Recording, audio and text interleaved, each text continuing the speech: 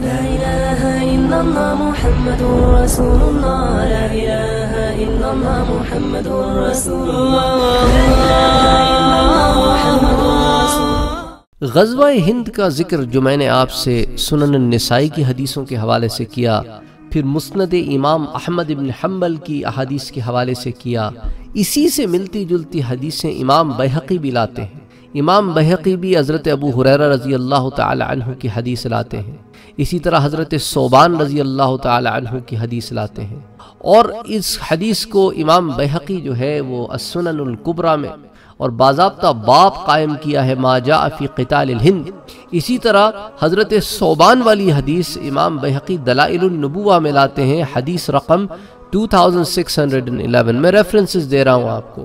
پھر اسی طرح وہ سنن القبرہ میں بھی حدیث لاتے ہیں، باب باب ما جاء فی قتال الہند۔ ایک اور حدیث لاتے ہیں۔ اچھا پھر امام حاکم اس کو المستدرک میں روایت کرتے ہیں۔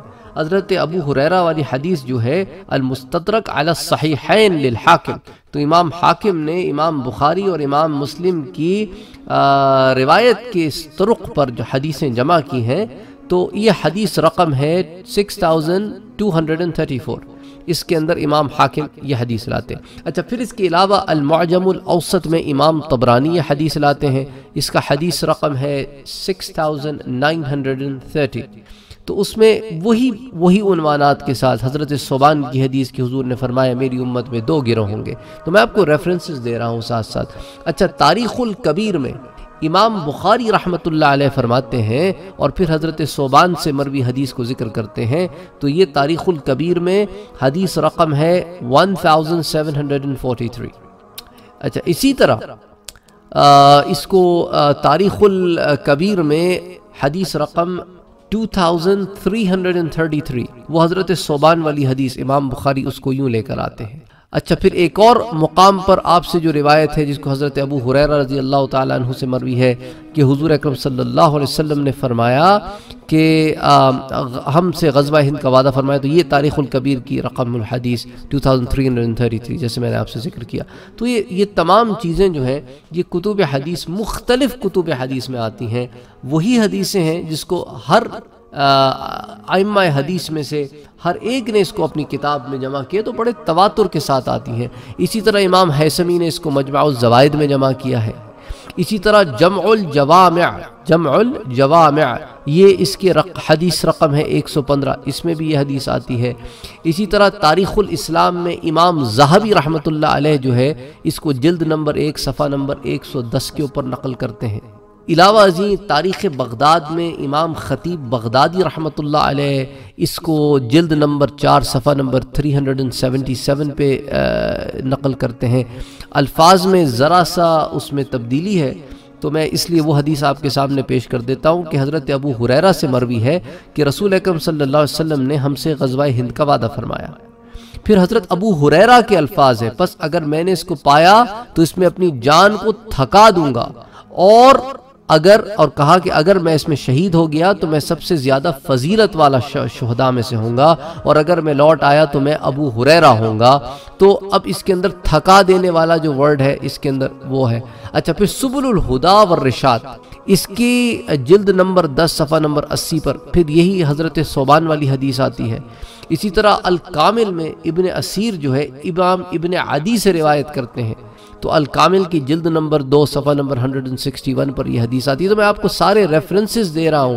اسی طرح النہایہ میں البدایہ والنہایہ میں امام ابن کثیر اس کو الفتن والملاحم کے باب میں نقل کرتے ہیں۔ تو اس کو صفحہ نمبر 12 کے اوپر نقل کرتے ہیں۔ اور وہی تفصیلات ہیں۔ وہی تمام تفصیلات ہیں جس کو امام نسائی نے روایت کیا اور دیگر لوگوں نے روایت کیا کہ اللہ کے رسول صلی اللہ علیہ وسلم کا اس ضمن میں وعدہ ہے۔ یہ حضور کا وعدہ ہے کہ غزوہ ہند کا اس امت سے وعدہ کیا گیا ہے۔ ان کلمات سے اس غزوے کی اہمیت کا آپ اندازہ بخوبی لگا سکتے ہیں۔ اسی وجہ سے علماء اسلام نے اپنی کتب میں غزوہ ہند سے متعلق احادیث کو بیان کیا ہے اور اس امانت و بشارت کو ہر دور میں آئندہ آنے والی نسلوں تک منتقل کیا ہے۔ تو ان احادیث کے مطالعے سے معلوم ہوتا ہے کہ حضرات صحابہ کرام اس غزوے میں شریک ہونے کی تمنا کیا کرتے تھے۔ تو اس سے بھی آپ کو پتہ چلتا ہے کہ اس اس اس غزوے کی کیا اہمیت ہوگی۔ غزوہ ہند سے متعلق احادیث میں حضرت ابو حریرہ نے شہادت کی تمنا کا اظہار کیا ہے، کیونکہ اس غزوے میں جو لوگ شہادت کے عظیم نعمت سے ہمکنار ہوں گے، وہ اللہ کے نزدیک افضل الشہداء میں سے ہوں گے۔ اسی طرح اس غزوے میں شریک ہونے والوں کے لیے ایک بشارت یہ بھی ہے کہ اللہ ان کے تمام گناہوں کو معاف فرما دے گا اور اگر کوئی شخص اس غزوے میں شہادت حاصل نہ کر سکا اور غازی بن کر لوٹا تو اللہ اس کو جہنم کی آگ سے محفوظ و معمون فرما دیں گے۔ ان احادیث میں اللہ کے رسول نے سندھ اور ہند کے فتح ہونے کی بشارت عطا فرمائی ہے۔ رسول اکرم صلی اللہ علیہ وسلم کے وصال کے بعد اللہ تعالیٰ نے آپ کے وعدے کو پورا فرمایا اور سندھ اور ہند کے دروازے اہل اسلام کے لیے اللہ عز و جل نے کھول دیے۔ اور اسی کے بدولت سندھ اور ہند میں آپ نے دیکھا کہ اسلام کیسے تیزی سے پھیلتا جا رہا ہے۔ حضرت سیدنا ابو حریرہ نے اگرچہ اس جنگ میں امام مہدی اور عیسیٰ علیہ السلام کے ساتھ شریک ہونے کی تمنا کا اظہار کیا، لیکن اللہ کے رسول نے آپ سے مسکراتے ہوئے اس بات کو بیان فرما دیا کہ ابو حریرہ اس میں شریک نہ ہو پائیں گے۔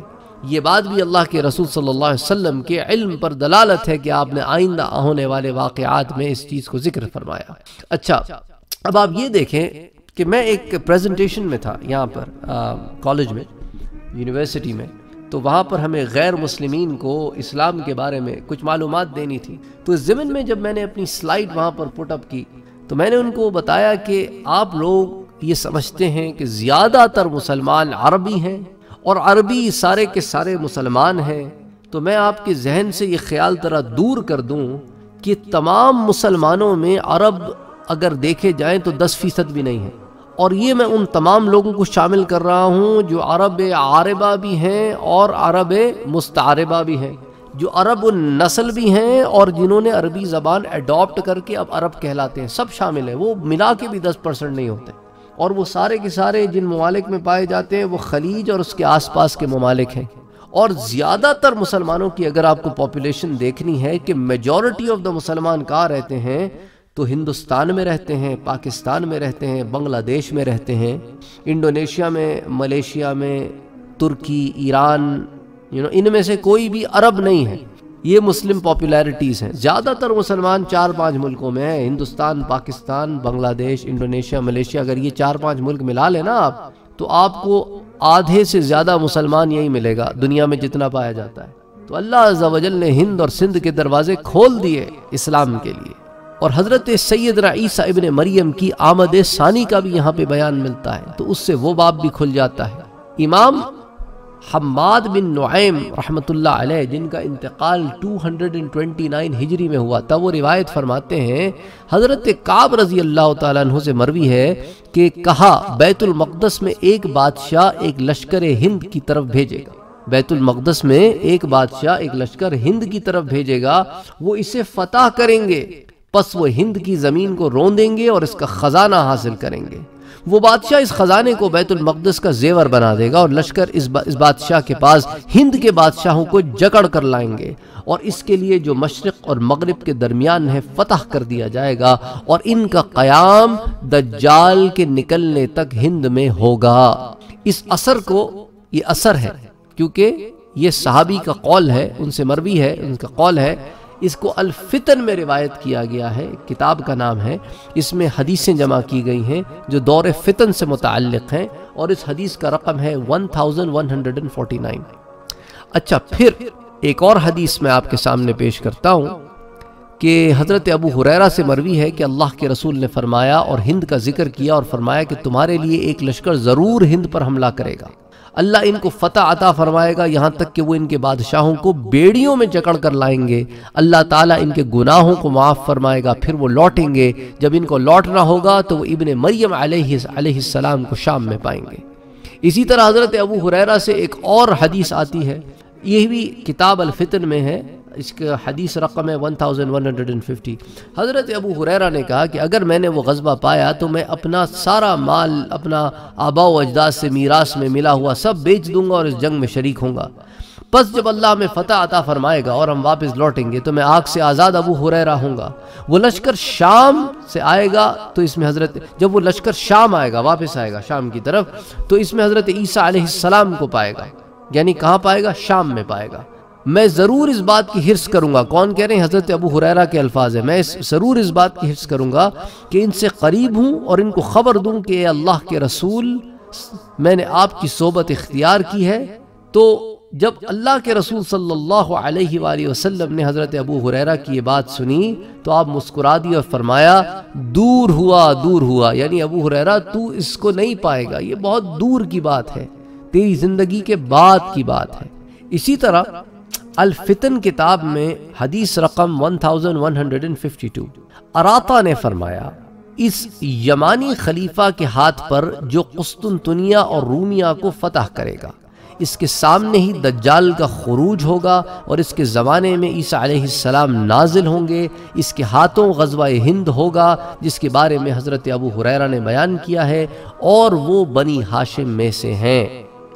اسی طرح الفتن کی اگلی حدیث 1153 حضور اکرم صلی اللہ علیہ وسلم نے فرمایا ایک قوم میری امت میں سے ہند پر حملہ کرے گی اور اس کو اللہ تعالیٰ فتح عنایت فرمائے گا۔ یہاں تک کہ وہ ہند کے بادشاہوں کو زنجیروں میں جکڑ کر لائیں گے، پس اللہ ان کے گناہوں کی مغفرت فرمائے گا۔